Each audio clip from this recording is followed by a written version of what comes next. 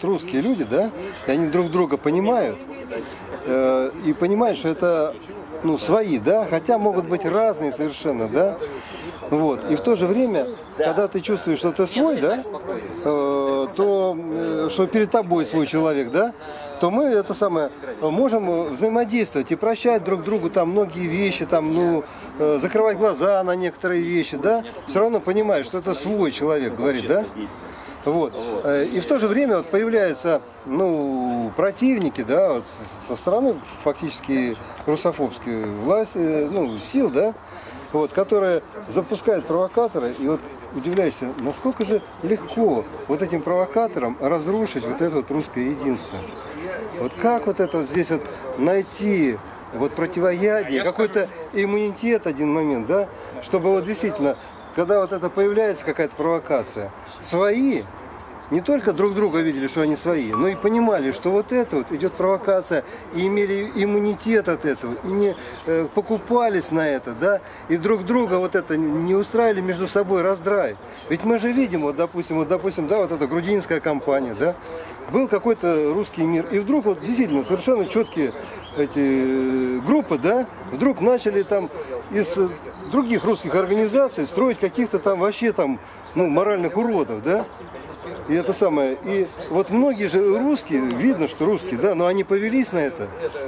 Вот как вот сделать вот так, чтобы вот какой-то все-таки вырабатывался в русском обществе иммунитет на провокации? Наверное, умнеть надо. А вот как? Наверное, надо, во-первых, умнеть и отличать важное от второстепенного, потому ну, что вот... действительно э, есть вещи, которые действительно для нас важны и играют роль в, в рамках нашей основной цели здесь и сейчас. Кстати, вот здесь вот я соглашусь полностью с э, господином Ковачковым. Действительно, что важно то, к чему мы стремимся и к какой цели мы идем. То есть мы должны понимать, что в рамках вот этого движения к этой цели мы должны и предпринимать решения. То есть даже если нам что-то нравится или не нравится. Первое. А второе, э, есть иммунитет более простой. Это все-таки христианское отношение друг к другу. Это очень простая, можно сказать, примитивная на слуху тема. Это просто христианское отношение к другим людям. Не заявлять везде и кричать «мы христиане, мы православные», а в жизни относиться к другим людям именно по-христиански. И это намного даже проще, чем э, э, выслеживать э, откуда-то вычислять, где, против чего, какое идет направление атаки в нашу сторону какая бы атака ни шла, если мы будем по-христиански друг к другу относиться, мы всегда выиграем. Да, но вот здесь вот еще такой вот момент, вот, вот здесь, да, что уже раньше, вот я вот сейчас вот читаю Ключевского, да, ну, он достаточно такой, э, такого западного экономического э, взгляда человек, да, и в то же время, вот когда вот он описывает э, смутное время, да, и он говорит, что да, вот когда м, все порядки порушились, да, с прекращением династии Ру, Рюриковичей, и не стало хозяина, и каждый просто, каждый класс, каждая группа начал тянуть дело на себя, и вот этот начался раздрай, и без власти, и без времени, да, вот. И он говорит, что говорит, что Россию спасло тогда?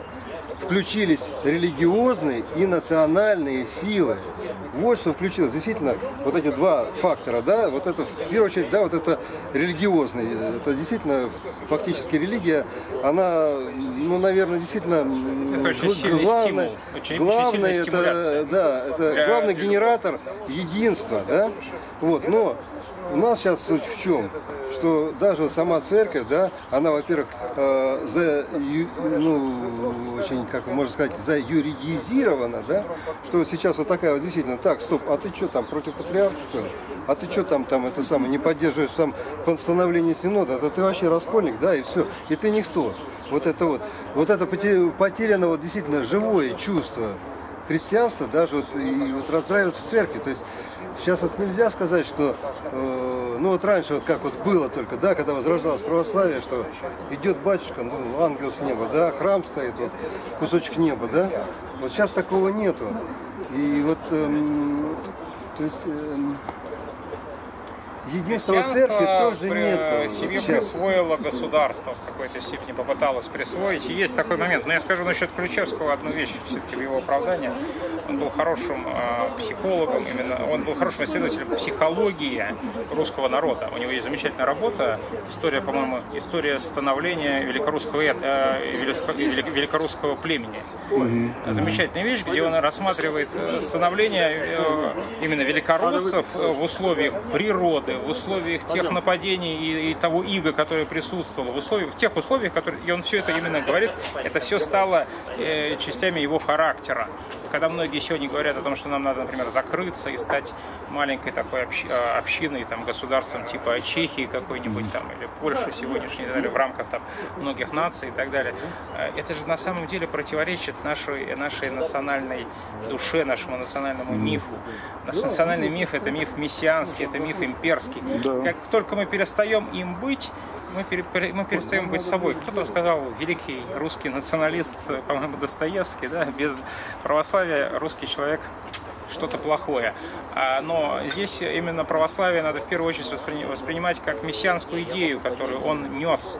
Он нес э, на своих, и на своих штыках, и на своих знаменах, и на своих подношениях. Поэтому э, ну, это как бы в защиту, в защиту Ключевского. Мне просто очень понравились вот эти его работы. А я что-то где-то прочел, что э, вот этот храм э, в Кубинке построили, что якобы тоже за этим храмом. Это вот мессианская идея, которую мы продолжаем в Сирии, гроб Господень там рядом, мы вот э, священные земли охраняем от вмешательства. То есть там наворачивается тоже дополнительная такая а, мифология, но от людей абсолютно не православных. Абсолютно. Это же они поняли, в чем суть. Они да. вот в отличие от сегодняшних вот леваков и либералов, которые их, их сейчас троллят и пытаются против них выступить, они идут совершенно, вот, э, вот эти тролли идут с очень примитивной идеологией э, э, западного, по сути, чуждого русской национальной душе э, и э, всех вот этих идей, направлений направлений и так далее, которые вот эта вот э, десакрализация во всем и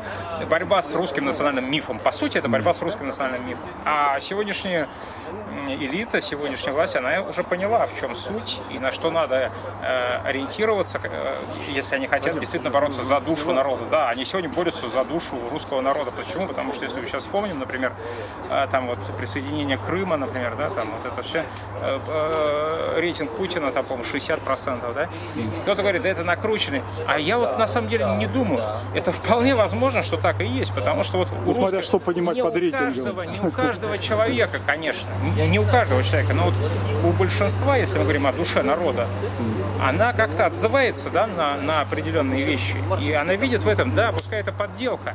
Вот э, люди плакали на, на могиле Сталина, да, когда Сталин умер. Понятно, что Сталин это убийца, это враг русского народа, с одной стороны. А с другой стороны, для определенного процента им казалось, что это царь. Это был симулятор царя. И сейчас мы видим э, симулятор русской национальной власти, которая э, отзывается на русскую национальную душу, на ее запросы и идеалы. Ну, пелена такая перед глазами, и кажется, что это повторение там, русской национальной традиции.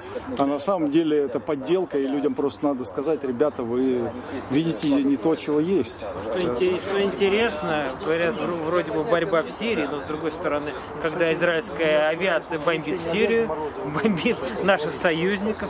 Это тишина. Просто сказали и все. Ну, бомбили и бомбили.